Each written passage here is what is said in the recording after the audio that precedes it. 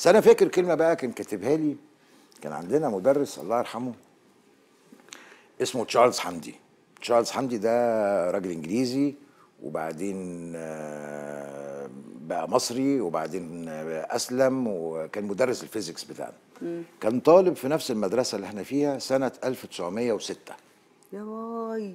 وكان راجل كبير كده وكان هو يحكي لنا إنه كان بيقعد مع أينشتاين يعني أينشتاين درس له. يا سلام. فكان حاجة كده عبقرية يعني حاجة رائعة. كنا ندخل المعمل آه، كان عندنا معمل physics ومعمل chemistry ومعمل كل كل حاجة ليها المعمل بتاعه كان الراجل طبعا يقعد بيشرح كميه البجم اللي قاعدين قدامه. اللي ما حدش يعني إيه مقدر طبعا الواحد بيقدر بعدها ب 40 50 سنة يعني يبتدي الواحد يقدر بس كتب لي والله كلمة فاكرها لغاية دلوقتي.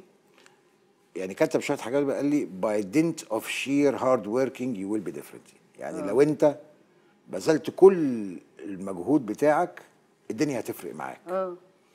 الجملة بتاعته بخط ايده على الورقة اللي لونها سماوي كده ما زلت فاكرها بوضوح شديد جدا إن الراجل ده كتبها لي في في الأوتوجراف. ذكريات بقى. يا سلام يا. أسامة والله رحلة.